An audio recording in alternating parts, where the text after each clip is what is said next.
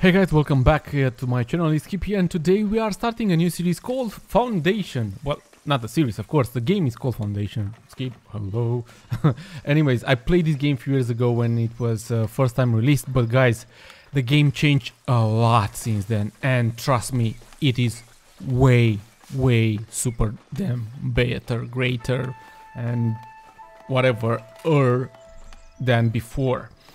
Um, we can even, by the way, we can even get mods if you want to. There are people are creating stuff for this game.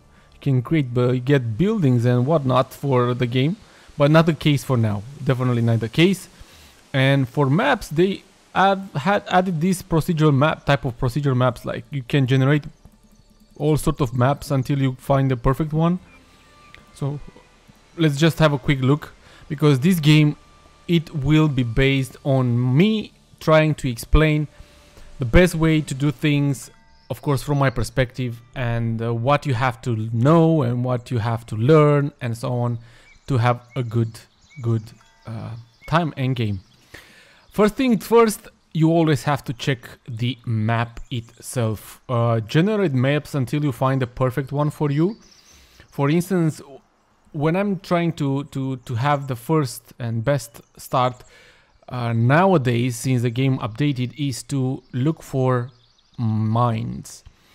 So these type of mines, you see, they look like stone mines, but have these green stuff on on them, and that is because your bailiff later on will have to you have to pay the bailiff to go and to go in an adventure of course not adventure but to go in an adventure through the woods and find these places and see what's actually here. So it can be an iron mi mine, gold mine, uh, uh, quartz, uh, and so on, even stone mines.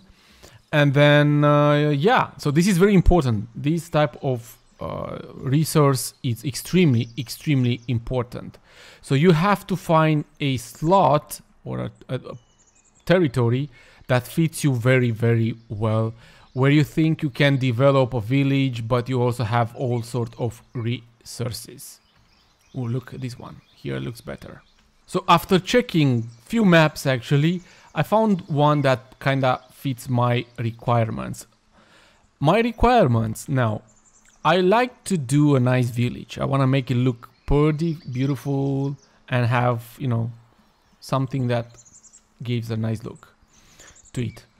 But for that, you, I would prefer to have flat terrain. That there is no such thing in this game, at least not yet. And I'm looking for good resources, of course. And I like this area here. These three slots look pretty cool. This big island looks really cool. And then we can, you know, develop through this area and through this little lake. But then we have these resources over here. One, two, three uh, four, five, six, and plus some stone. So we kind of have everything we need in this particular slot. So bam, we bought this one. Now, when you start a game, the most important thing is not placing the village center. It makes sense and it's important, but not the most important one.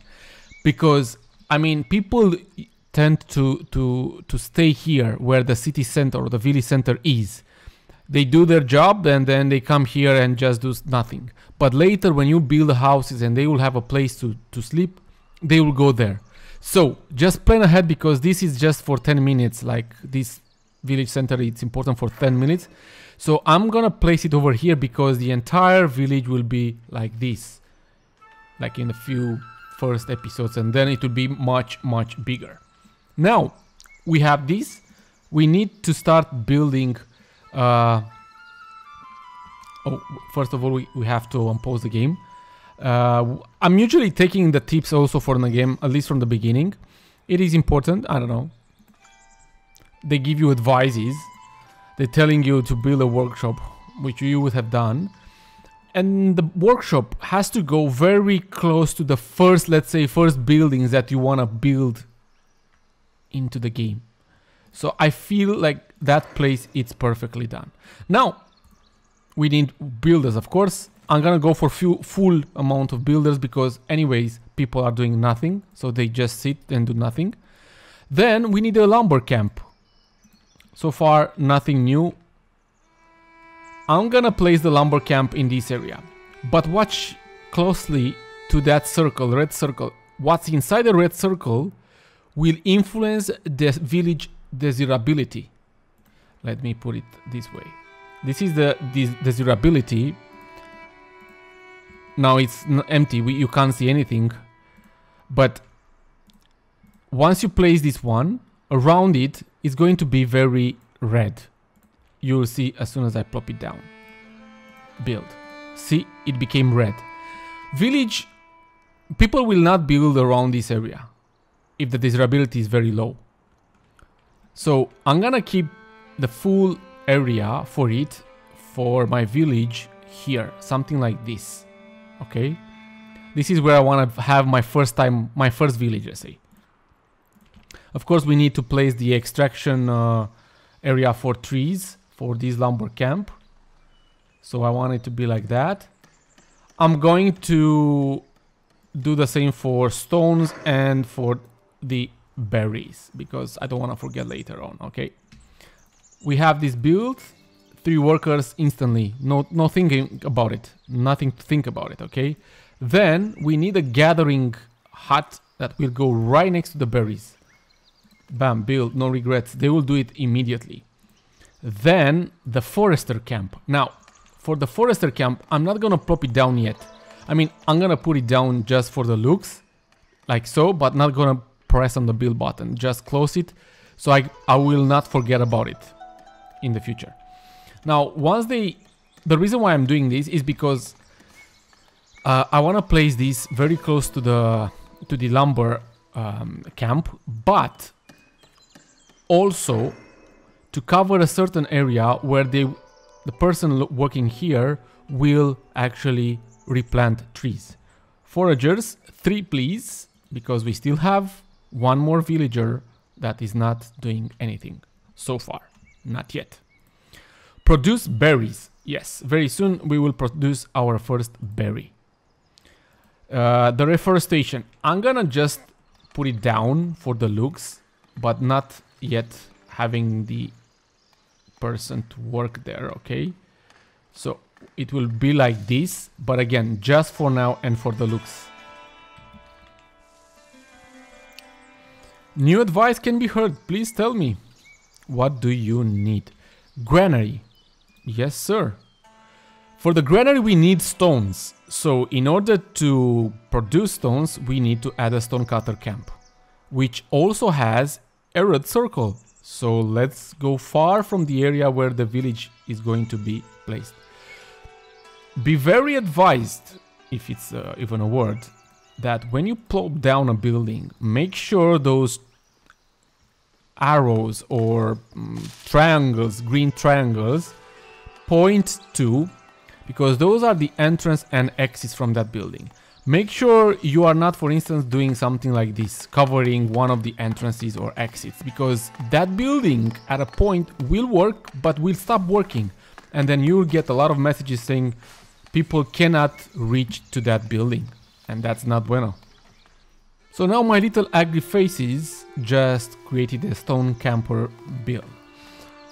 One person to work here because it was only one available, but that's not a problem because you'll see how we can manage or how we can switch between our, um, let's say, first 10 uh, residents that we have.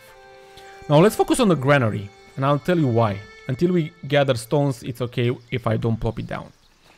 The Granary doesn't have any type of circle around it, so this will not influence anything on the game, beside of course the distance from the market to it, okay?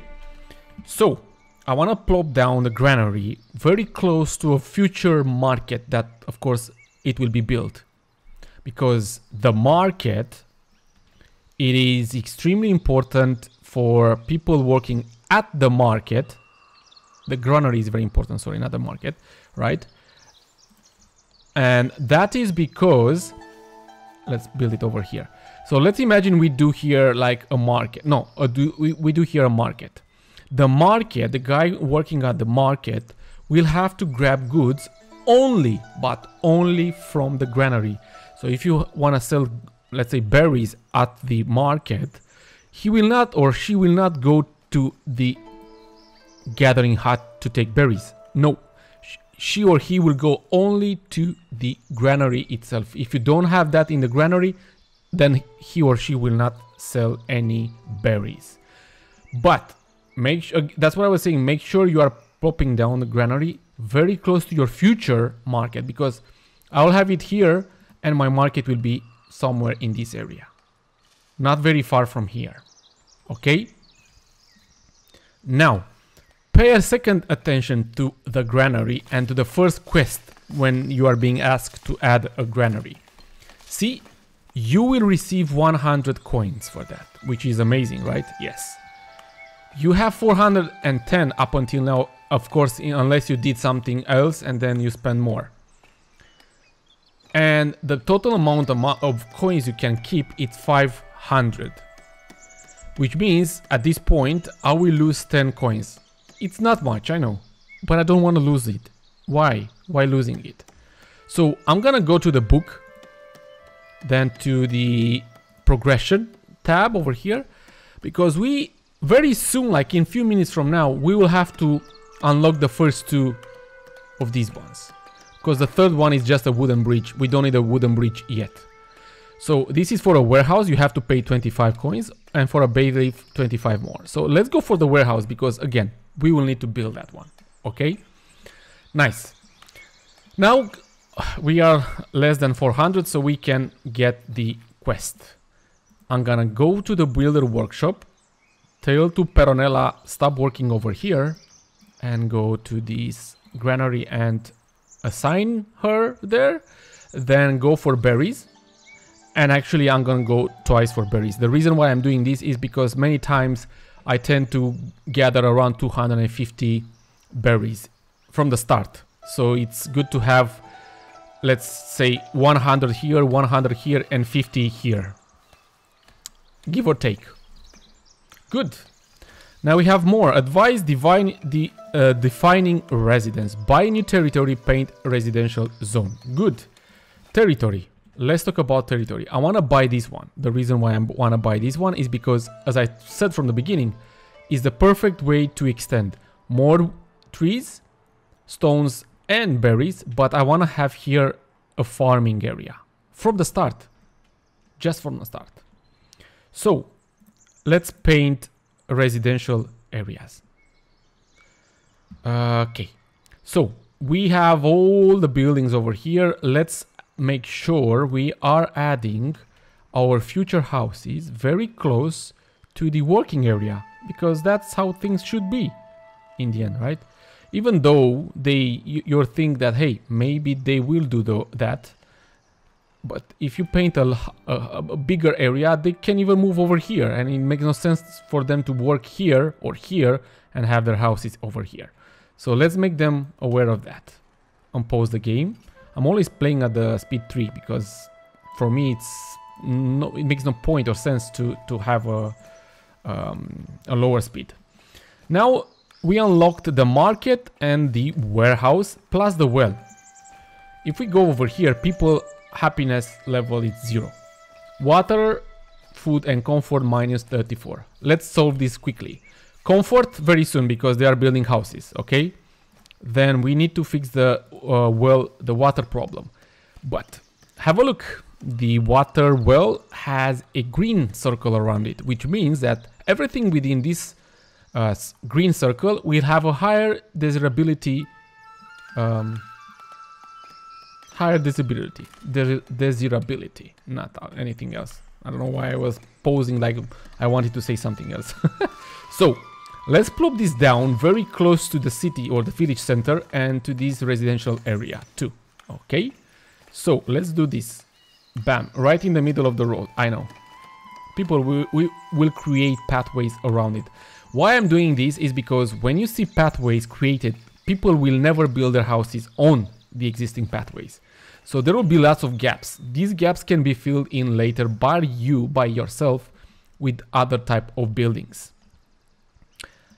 Good. Um, we need to add a market stall as well. Market. So I'm gonna add only a one small market stall for now, not just for now, guys. So let's plop it down around this area. Function, market stall, food stall, because that's the only thing we can do for now. So road, pathway, right, buildings. So let's do it like like that for now, guys. And bam. Build. See, the area became greener because again, if you didn't notice, let's just do another test. Market stall. Look at the circle, it's huge. So having multiple markets will make things much better for your village. Much, much better. So now, water problem will be solved shortly. Food problem will be solved shortly. Always prioritize constructions. From time to time, we can check out over here, villages, villagers, buildings. We have three, two out of three builders, one transport and one miner. So far, all good, guys. All, all good. Money, pff, we are doing pretty, pretty well. Berries, we are doing pretty, pretty well. We have the first market over there. Let's assign berries to it, but we need to add a market tender. That's how it's called. And we don't have. So what we have to, we can do at this point is to look at the resources we have and what's the highest number for it for now berries. So let's get a guy from here and tell to Moleva, stop it. Stop it, Moleva. and assign Moleva over here. At this point, I'm not sure if Moleva is a girl or a boy. Anyways, that being done, she will bring or he will bring berries just from the, nearby from the granary instantly, almost instantly, because it's she this this place is very close. Now, the new quest saying that we need to reach the happiness at 100% so people can join new people join our village. What we are missing is food and comfort. That's it. Berries are being gathered into the market. All good. So we just have to wait. Comfort because not all the houses are yet done. So the last house is going to be built very soon. But I also have to start building the forester camp very very soon too. Uh, because these guys will kinda finish extracting all the trees that we have there. Anyways, it's no, no rush yet. Still, we have plenty, plenty of time. So, Forester Camp was built, all the houses are being built, people are 97% happy, soon to be 100% happy. What I want to do as soon as I will get a forester, I want to make sure I don't plant all type of trees. Reason why is because mm, there is no reason, it's just for the looks. I'm gonna keep all, only the pines. I wanna see only pines growing over here, like a pine forest. I don't know if it's better for for uh, like a lumber camp. Just my opinion, guys, and just for the looks. There is no other reason in the middle. Everyone is very kind of very happy. Oop, bam! A newcomer is approaching your village. Amazing. A new advice can be heard. What does it say here? So, Acquire warehouse, already done. Build a warehouse, very soon. Assign planks to a warehouse. But, so, a logistics warehouse. Warehouses cost 10 stones and 15 planks. We don't have planks, no one is doing planks for us. So what we have to do is to build a sawmill. Sawmills also have these red circle around it. So be very careful where you plop it down to be, let's say, far from the village. I'm gonna go something like this, but again, make sure the arrows will not block anything. Okay, build. Now it makes sense. Hey, we have the two guys. Welcome on board. Forester, just go there. Good. Um, let's have another look over here for buildings because we have that extra person for now. So I do not need yet a builder. I'm gonna do a forager. So forager, go there. What we observe from the start is the happiness. It's getting lower again. Reasons is they are asking for comfort and service. Service means they want to, they need the church, they need to pray or whatever. But we can't add that, not yet. It will take some time until we can add a church. Comfort because we have to know people and they don't have a house yet, but they will soon have one. They already start building it. That being done, uh, what we can do for now is just wait and check one more thing here. Bailiff. I'm gonna unlock the bailiff just for now because it doesn't take anything but some money and that's more than fine for me. And in the meantime, I'm gonna look to see where I can build the warehouse. Take note that the warehouse also has the red circle, so don't go with it in the middle of the uh, village. It will affect your desirability. So go far from the far, a bit far, more far from or farther. No, let's go here. let's go just here. It says outside territory, like that. I'm not gonna uh, press on the build button yet. But actually, you know what? I'm gonna do that because at least we have two workers. Only two things, see, ongoing construction, only two. So I know I have two workers, so two constructions. Usually it's like one person per construction, so that's fine. And in this, in the meantime, they will just bring, you know, goods here. At least someone will bring the, the, the, the stones over here uh, until we can do the planks. Hey, welcome on board. Sawmill is built. I'm the only person that was just doing nothing uh, in the village so far. And what I'm about to do now is to just wait and add more people to the sawmill. Very soon add a second sawmill. Why am I doing this? It's because if we go to the book here and then to the resources and trade routes, we have three possible trade routes. With Northbury, which is allied with Labour, with Middle, allied with Clergy, and Devonport, allied with Kingdom. The first one that you can unlock is the this one, the Northbury, because you can pay 20 uh, planks. Uh, these ones uh, cost 20 common clothes. We will have them later, and 20 breads, which we will have later. But from Northbury, we will have to buy tools very soon and we can sell polished stones, planks and berries. But for the beginning we will just sell planks and berries until we will have polished stones. So we need to, to, to create and have many many planks in order to sell them and make money to buy tools. The tools are extremely ex extremely expensive. So we have the warehouse built as well now we don't have a transporter, we don't have, we can't assign a transport yet, but we will wait for someone to come. In the meantime, just uh, make sure we can give tools and then planks. And I'm gonna add, uh, I think wood would be good because uh, probably we, we will reach 100 very, very soon. Uh, plan.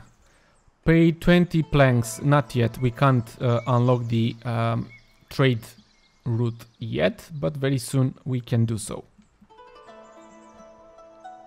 We need a lot of, actually it's important to have a lot of villagers moving inside the village to be able to expand faster. But this is the beginning is only the, the the, the, hardest part let's say. See no one is waiting over here at the village center anymore. They are just going inside the houses doing stuff like whatever sleeping and Hello, little girl. Even though she can't sell bread and fish, she sells only berries, but we see all three of them. Hello, hello. Whatever you do, do not come near me.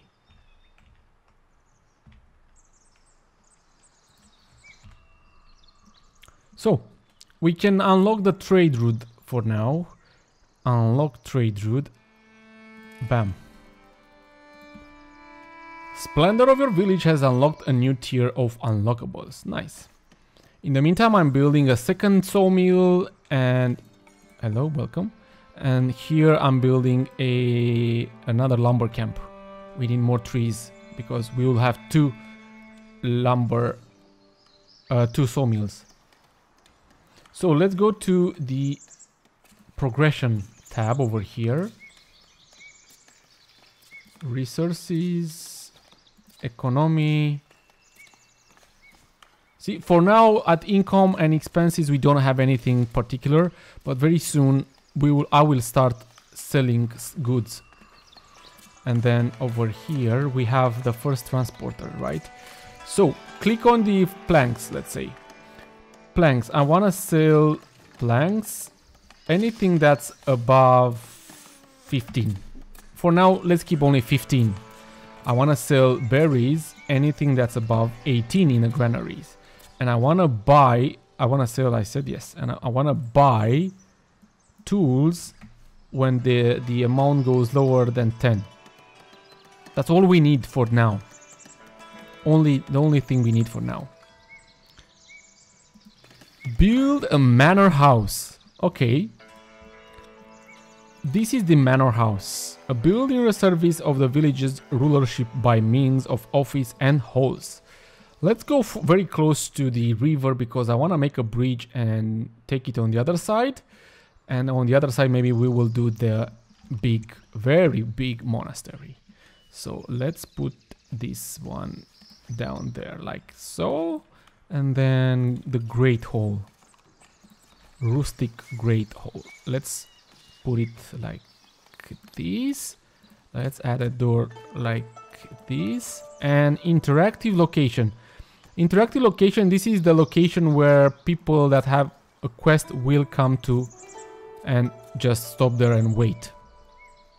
Not sure if you noticed, but when you build like ah the great of I can't, I can't show you again but the great hall also had a green circle around it as you see here the desirability well it's still low shows low but it will be much much higher very soon let's add two carpenters for now lumber camp it's built cool and let's have one woodcutter there so now we just wait until they build the manor.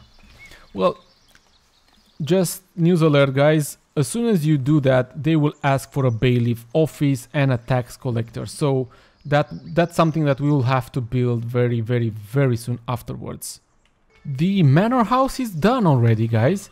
I want to show you something. See, this is why it's good to that you have to sell stuff. Last month, I sold 12 uh, berries worth of 12 coins and planks worth of 24, which means 36. But I bought tools worth of 35, so I just won, let's say, one coin extra. Well, anyways, the last month was negative balance because I had lots of other expenses, let's say. But that's that doesn't matter. It's just that's why you have to do some steps, let's call it, to to make sure you make the best of let's say uh, of it and win money don't lose money. That's important for for the next steps which of course will come with the next episode. Guys thank you very much for watching. Hope this was very helpful for you. And uh, see you in the next one i salute you